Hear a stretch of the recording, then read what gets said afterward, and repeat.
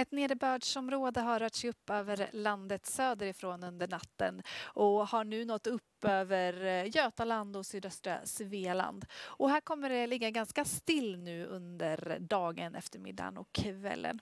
Och I norra Götaland och sydöstra Svealand snöfall som framförallt i ett stråk från Västergötland in över Östergötland kan vara ganska kraftigt och här kan det komma två eller dryga två decimeter snö fram till kvällen. Och det här i kombination med att det är ganska blåsigt med en frisk nordostlig vind. Det här snöfallet det tar sig inte så mycket längre norrut utan stannar upp och norr därom är det ett högtryck som dominerar väderläget istället och på många håll ganska soligt väder och kallt för årstiden.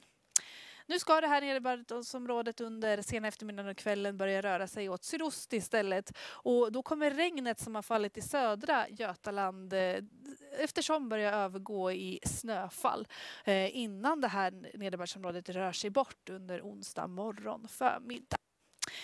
Och Eh, fram på dagen på onsdagen så är det det här högtrycket som styr väderläget och det blir soligt på många platser i landet. Men det är kallt för årstiden. 0 till 5 grader i landets södra del och 5 till 10 minusgrader allra längst i norr. Men med stora lokala variationer.